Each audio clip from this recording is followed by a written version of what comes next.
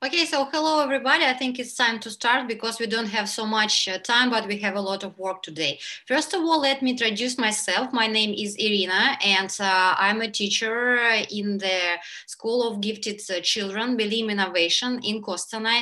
And today I have prepared for you uh, just kind of uh, listening comprehension for pre-intermediate intermediate students. And if you ask me what about the grade?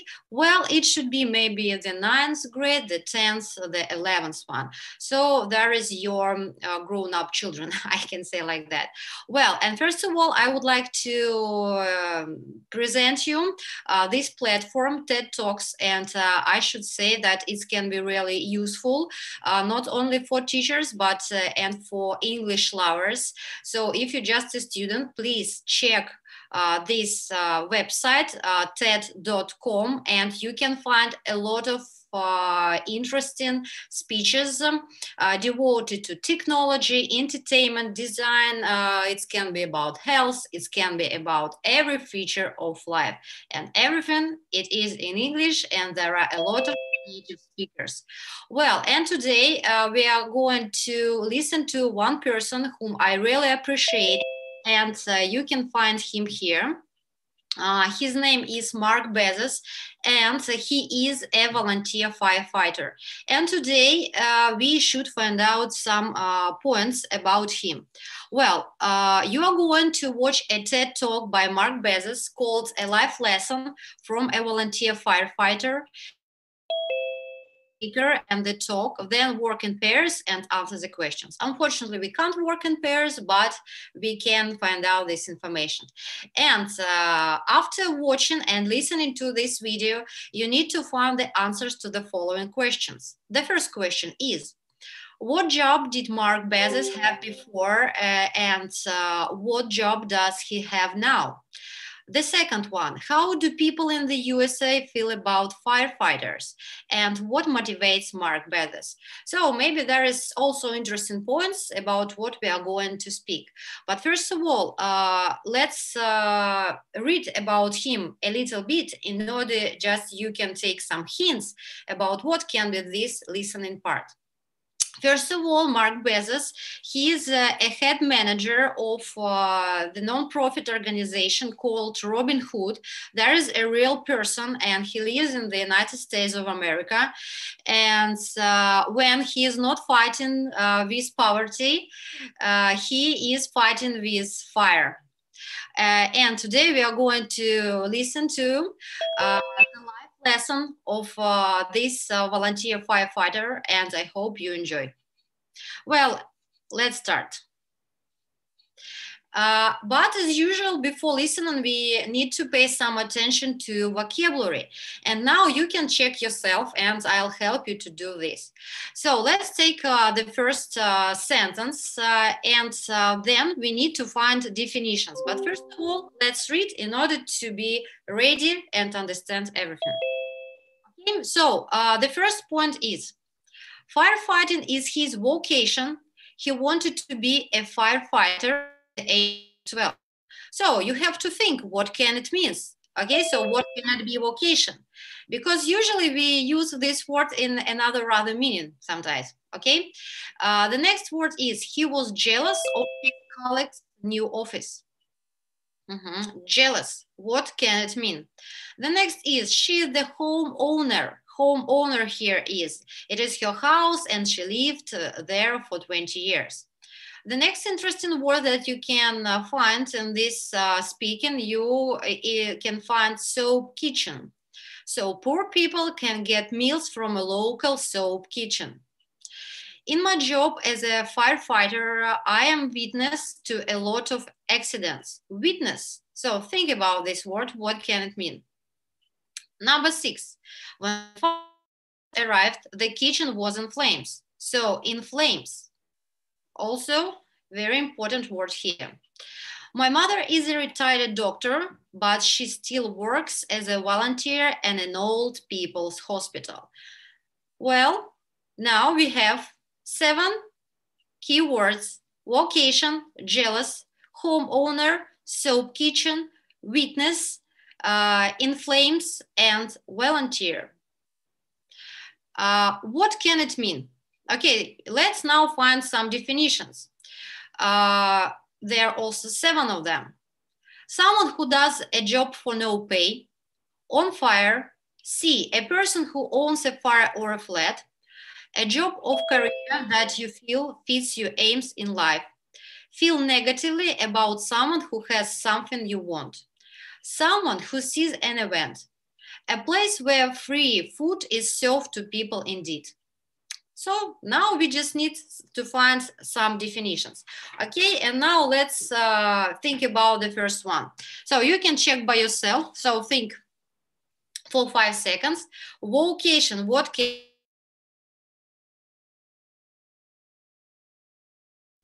there is a job or career that you feel fits aims in life. Mm -hmm. So number two, what can it be? Jealous. Number two, think a little. There is E. Uh, feel negatively about someone who something you want. Three. Uh, homeowner. Yeah, it's a person who owns a house or a flat. C we have. Number four, soap kitchen. Number four, so check yourself. Number four, there is a G, a place where free food is served to people indeed.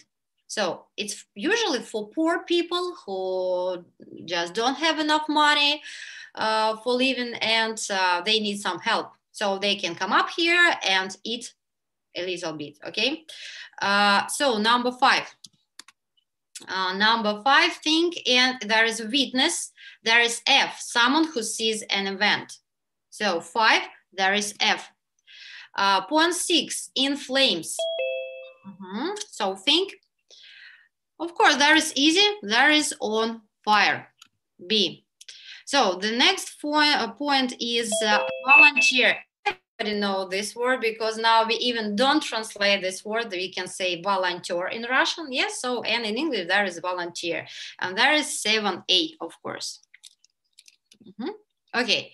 And now uh, you have some useful vocabulary like vocation, jealous, homeowner, soap kitchen, witness, in flames, and volunteer. Mm -hmm. Okay, so let's go further.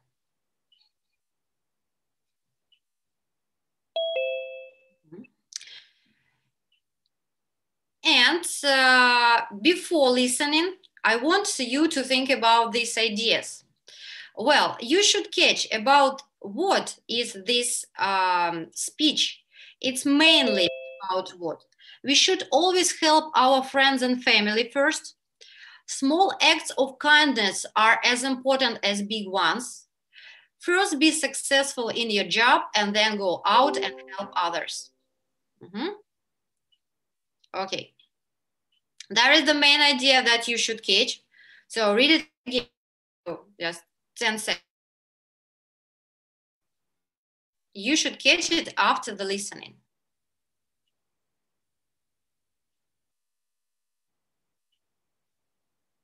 Mm -hmm. Okay. Well, uh, and now we are going to watch from uh, the very beginning uh, to the one minute in this uh, uh, TED Talks um, video. And you should catch these ideas because there is listening comprehension and you should be ready with this.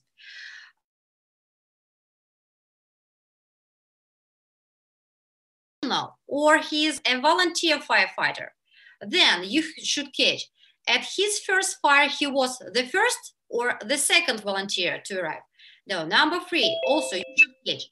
When Mark Bezos found the captain, he was speaking to another volunteer or the homeowner. Now you know what the homeowner is. And number four, it was the middle of the day or it was night and uh, it was raining, okay? And now let's see and watch. Mm -hmm. So try to catch these ideas.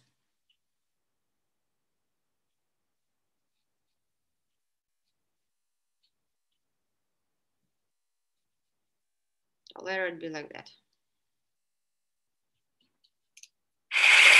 Back in New York, I am the head of development for a nonprofit called Robin Hood. When I'm not fighting poverty, I'm fighting fires as the assistant captain of a volunteer fire company. Now, in our town, where the volunteers supplement a highly skilled career staff, you have to get to the fire scene pretty early to get in on any action. I remember my first fire.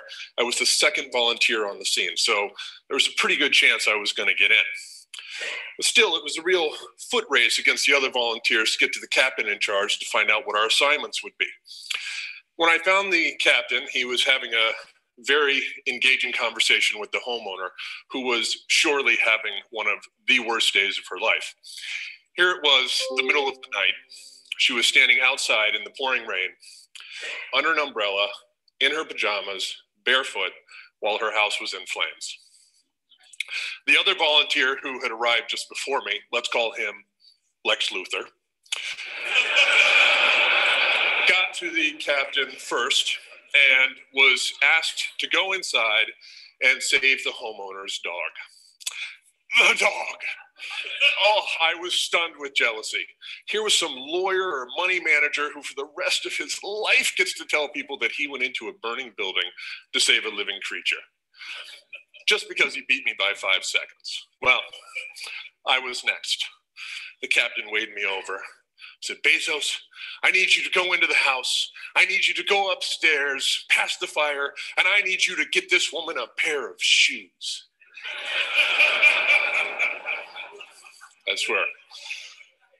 So, not exactly what I was hoping for, but off I went up the stairs, down the hall, past the real firefighters who were pretty much done putting out the fire at this point, into the master bedroom to get a pair of shoes. Now, I know what you're thinking, but I'm no hero.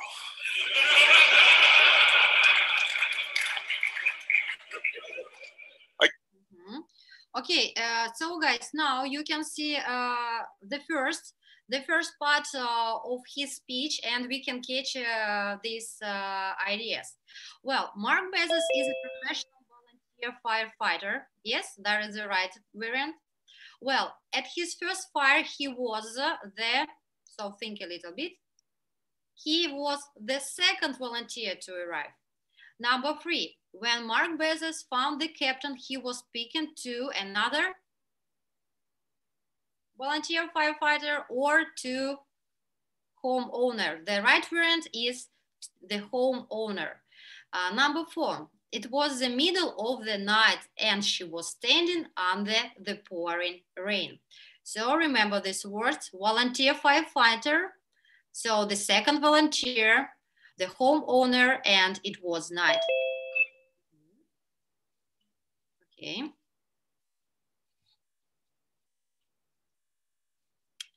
Well, and now um, we are going to find this second part of this information and then all together. Okay, so what should you catch? There you see the captain ask the other volunteer to rescue a, so whom? From inside the house. Try to catch. Mark Bezos felt how so remember about vocabulary, that the other volunteer could tell people he saved a living animal. So number three, Captain asked Mark Bezos to go into the house and to do what?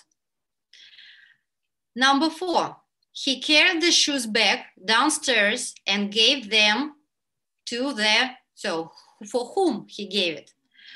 Uh, a few weeks later, the homeowner sent a letter thanking the fire department in particular for saving her. It's also, it's kind of idea. Okay, so uh, let's uh, see uh, the rest of this video and then answer these questions.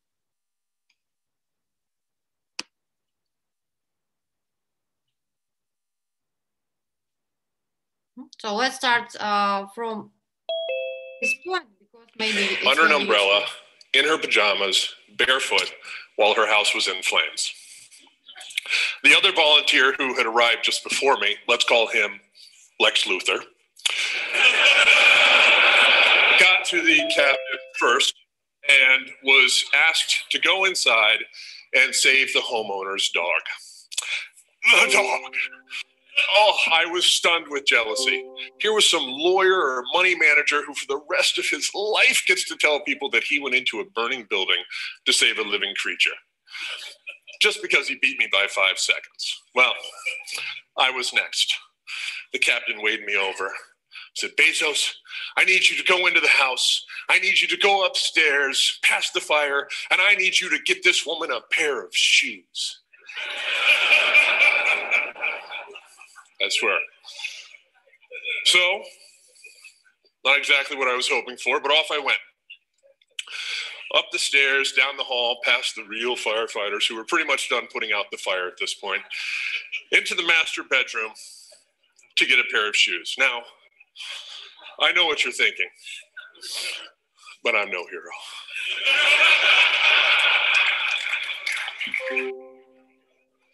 I carried my payload back downstairs where I met my nemesis and the precious dog by the front door.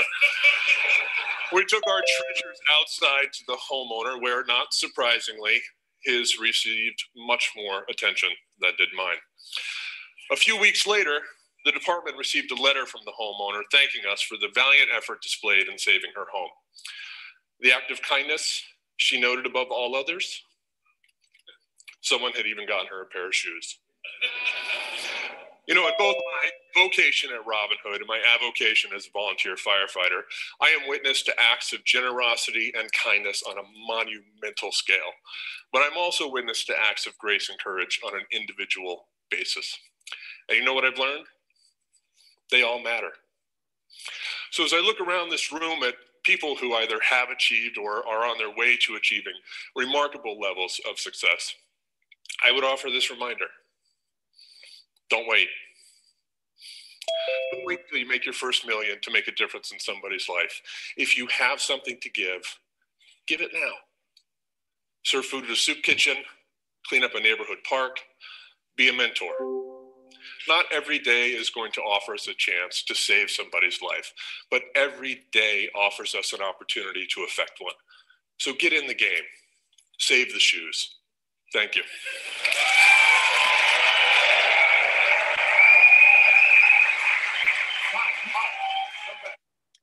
Well, uh, and remember that uh, you should catch what was the main idea of his speech. It's about what? It's about kindness, it's about being friendly, or what, okay? But now we have a really important task here for understanding.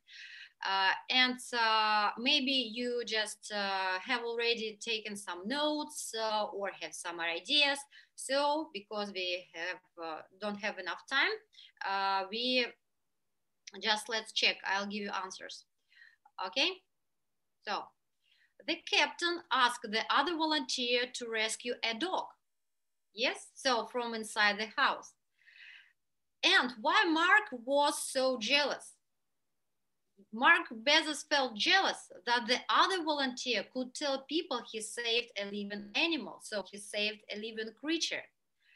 So number three, uh, the captain asked Mark Bezos to go into the house and to carry or bring back some shoes. Shoes. So can you imagine the first volunteer saved the dog and Mark Bezos just please take the shoes, save the shoes. Okay, so number four, he carried the shoes and back downstairs and gave them to the homeowner. Mm -hmm. So take and gave them to the homeowner. A few weeks later, the homeowner sent a letter thanking the fire department and particular for saving her shoes. So she said the great thank you to the uh, fire department just for one thing that somebody gave her even a pair of shoes. So that is the main funny idea uh, in this text, but uh, not the main crucial one. Okay. Mm -hmm. And now you, there you can find uh, some uh, tape script. It's uh, what you have uh, already listened to. And uh, let's just analyze a little bit. Uh, maybe you don't understand some ideas, so I'll help you. And then we will conclude all of this. Well, uh, first of all, Mark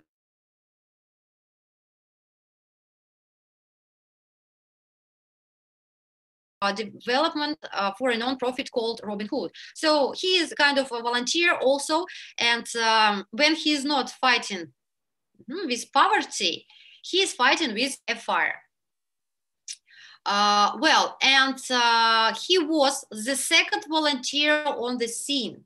So he second, now we remember this.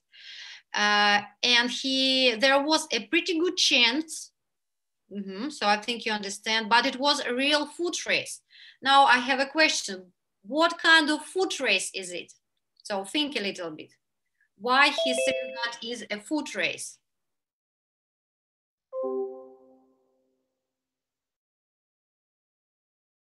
He was the same. Yes, and so there is uh, another one volunteer who was the best in this case, and he was the first one. That is the foot race when you want to be the first one okay? So the next point is assignment. So all of them uh, were given an assignment. Assignment there is the same like task. So for mark it's save the shoes. For another volunteer who was the first one that is what so think that is to save the living creature the dog, the homeowner's dog. And um, when uh, they find the captain who was uh, in charge, so captain in charge, it means the captain who is responsible for this accident. Uh, he was having a very engaging conversation with a homeowner. Mm -hmm and she was standing under the pouring rain. Okay, so please remember these points because after I'll check what you understand. She was standing under the pouring rain, under an umbrella. Can you imagine? In her pajamas, barefoot, so it means without her shoes, uh, while her house was in flames. Uh, and mm -hmm, the first uh, volunteer who just um, was in that house, he saved the dog. Mark Bezos, so he saved a living creature, and Mark Bezos, he saved a pair of shoes. Mm -hmm. Okay, so can you see this? At, at the very uh, end of this story, the homeowner did what? Mm-hmm. So you just can speak with yourself uh, and check yourself.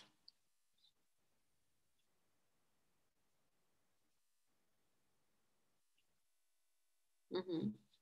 So the homeowner noticed that the act of kindness she noted above all others, someone had even gotten her a pair of shoes. So in spite of that fact that it wasn't a living creature, in spite of that fact that it wasn't her dog, her precious dog, so precious dog you can find here. Mm-hmm. Uh, she noted this like a, an act of kindness. And uh, what is his advice?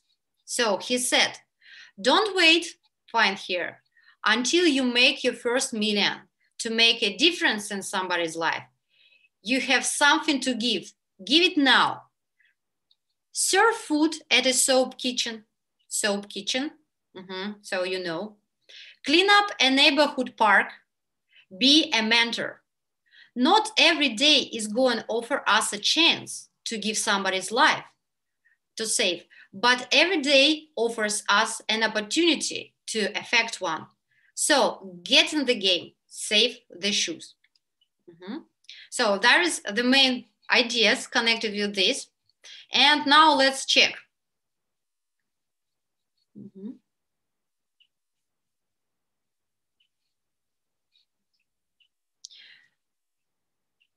Well, uh, what has Mark Bezos learned about the acts of kindness and generosity that he sees? Ask yourself about this. So, what has Mark Bezos learned about the act of kindness?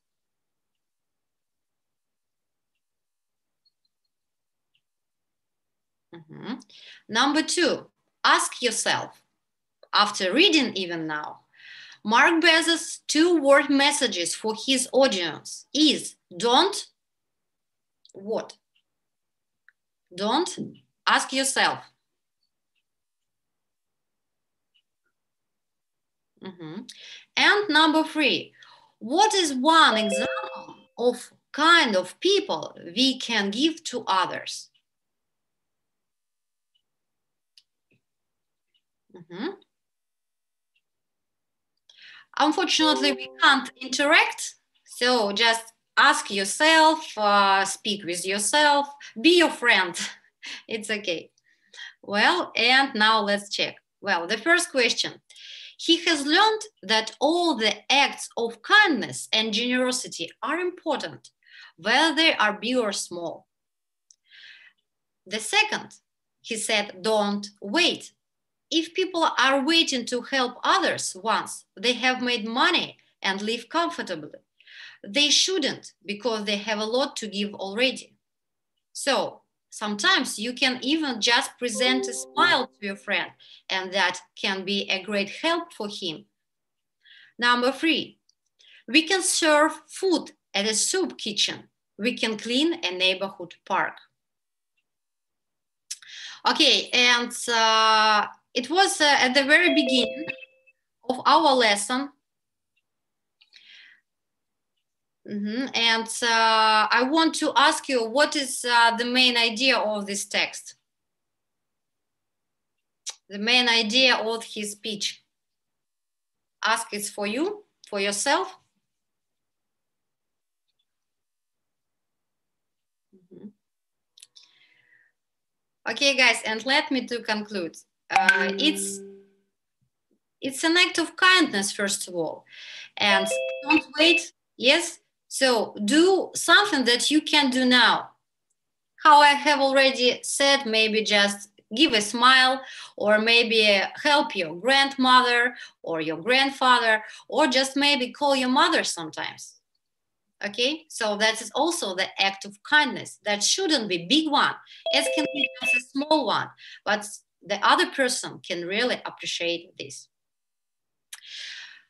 Okay, guys, so thank you so much for watching. Uh, and uh, I hope you enjoyed this. Uh, and uh, once again, my name is Rina, and I'm a teacher of English in Bilim Innovation School in Kostanay. And uh, I hope it was really useful for you. If you have children who, if you are a teacher you, and uh, you need very interesting um, videos, you can find these videos on this website. It's ted.com com. And there are a lot of them with Russian tape scripts and English tape scripts also. Well, thank you so much. That is all for today. So if you have any questions, you can print them in the chart. So let's let's see, maybe anybody has. Mm -hmm. Yes, uh, so Gulnara uh, here, this webinar is for teachers and students for the 9th and 10th grade. Yes, it's in even older. Mm -hmm. So it's for people who are now pre-intermediate, intermediate students, and so on and so forth. I think uh, you also have the same um, children. And uh, of course, if you're a teacher and uh, i understand i really i really can feel now that you say well that is not for my students. Well but maybe what can you do? Uh, you can uh, just uh, take this video and tape take the script from the site yes and maybe even read and then they should retell using these interesting words. Just try Okay, guys, so thank you. Thank you so much. That is all for today. Uh, and we can stop here. Okay, so you can leave the chart. So thank you so much.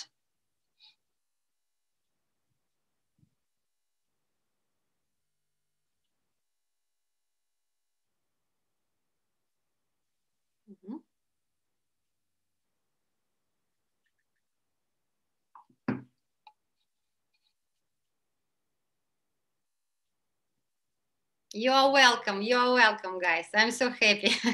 thank you. Gulnara, Natalia, thank you so much.